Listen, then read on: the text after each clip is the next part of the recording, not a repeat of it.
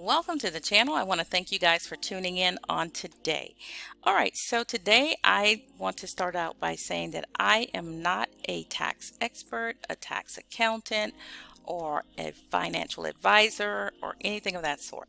What I'm doing today is just sharing with you information that some of you may already know, so it's going to serve as a reminder.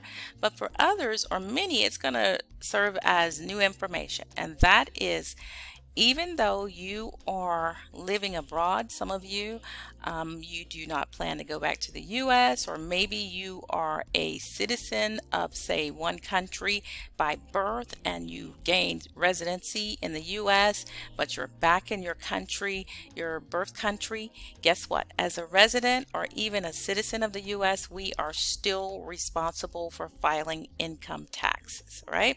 Now, there are financial thresholds um, where you say are not required to file, but that's the income portion. But there are other aspects of your return that do need to be filed, such as foreign bank accounts need to be reported, and I'll go into that briefly. But please remember that I am not a tax expert. I'm only sharing this with you because, as you can see, there are steep penalties um, which can lead to jail and high financial penalties that are due if you fail to file your taxes. Okay, so um, here's what I'm going to say. I'm going to try to make this as briefly as possible.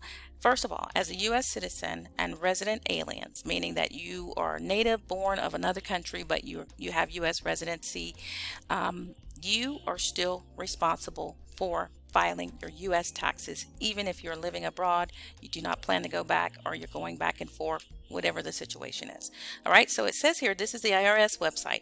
If you are a U.S. citizen, resident, or resident alien, the rules of, for filing income, estate, and gift tax returns and paying estimated tax are generally the same whether you are in the United States or abroad.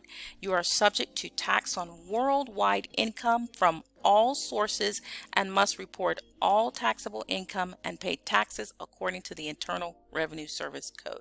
So you can go to the IRS.gov website, guys, and read this. But what I want to show you is that, first of all, the deadline is uh, for this year 2023 is April 18th. But here's a tricky part. The deadline to file for your U.S. tax return is April 18th, 2023. But U.S. citizens abroad are granted an automatic extension to June 15th, 2023. But don't breathe to, you know, a sigh of relief. This is the second part of it. If you end up owing taxes, the deadline to pay due, pay tax due is April 18th, regardless if you live stateside or abroad. So your deadline is still going to be April 18th if you owe taxes. So you have to still do your taxes to see if you owe the taxes. And if you do, the deadline is still going to be April 18th, right? So the extension may or may not apply in your case, all right? Now, the two things I want to point out is that there are taxes on that uh, laws that require us to report banking information and also if you own assets in a foreign country. These are requirements for us even if you are living abroad, if you've been living abroad for years, you do not plan to return, you go back and forth, whatever your situation is, we're still required to report this information. And over 200,000, I think I read, banks are participating in this. So no matter, likely, more than likely, no matter where you are abroad, your bank is reporting back to the U.S. if you have a bank account with them, particularly a U.S. bank account, a dollar account, um, reporting back to them that you receive money into that bank account. All right. And I think I read that it was uh, a total of $10,000 in a year. If you receive that, that that's reported back to the U.S. But do your own reading and research on this. Consult your own tax accountant and they should be able to give you some information. But let me show you this, guys, um, as far as the penalties or fees. Okay, so if you fail to pay your taxes and your uh, register your banking information or report that you have assets, including property, rental property. This could be uh, shares in a business in some countries or in many countries. In order to even operate a business business legitimately, you either have to leave an investment amount with that country or you have to partner with a local. If you have partnered with a local, you have to report your earnings from that partnership. Your uh, portion of the business and any earnings must be reported to the United States. Now, once again, there are income thresholds. So if you do not exceed that threshold, you will not uh, have to pay taxes, but consult your tax accountant because your situation could be different.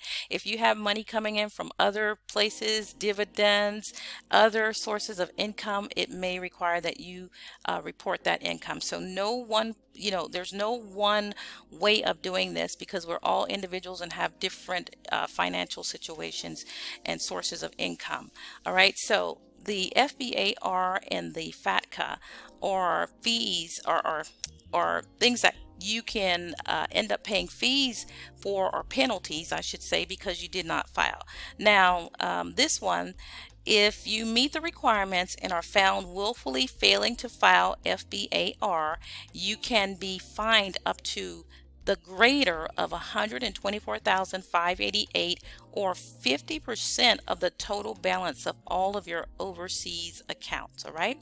And then here for FATCA, it says if you meet the requirements and fail to file FATCA form 8938, you can be fined from 10,000 up to 50,000 if you do not act in uh, act timely.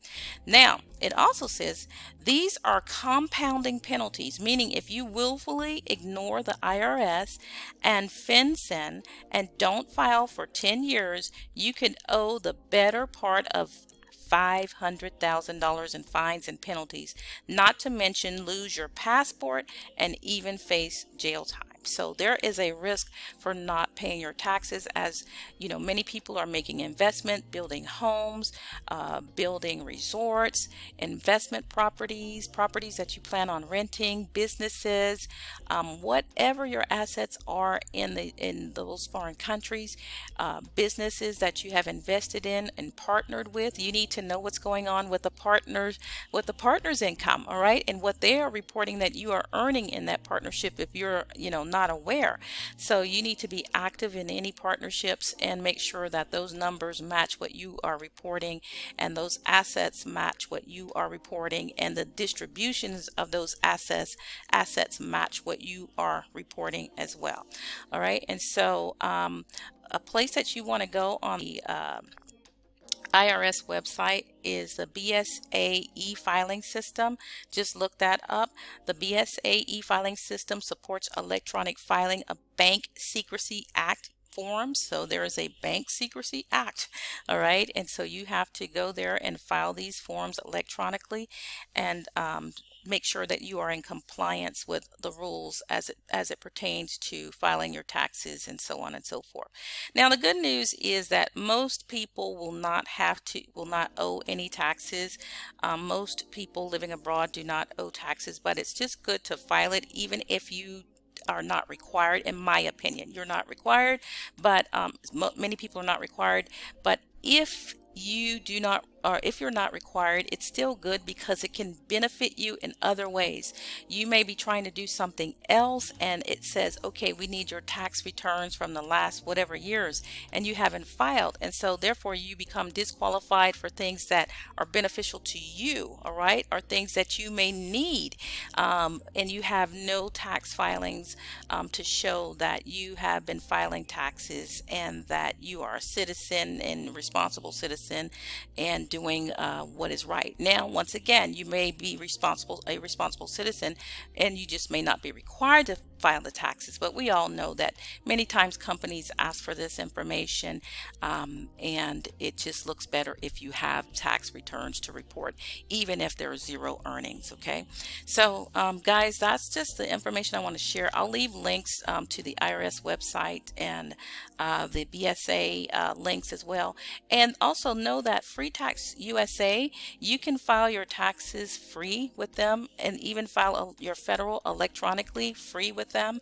Um, the state cost you $14.99. I've been using them for several years um, and I can tell you that even with a Schedule C for businesses, um, 1099s, if you earn those uh, as a contractor, they are also free. They don't charge you extra for those for those forms. Um, if you get the auditing package, it comes, you know, it's just it's a great service. Look into it. And then your state, you don't have to file your state electronically. You can print that out and mail it or have someone to mail it for you if that's how you're going to do it. But um, check out their services. I think you'll be pleased with them. All right. So thank you guys and let's stay compliant. Let's do everything to prevent them from, you know, pointing a negative finger at us as we transition either back and forth to the continent or to the continent permanently, whatever your decision, however the Most High is leading you to do, um, make your transition. Um, just do it according to His will. All right. And thank you and have a wonderful day. Shalom.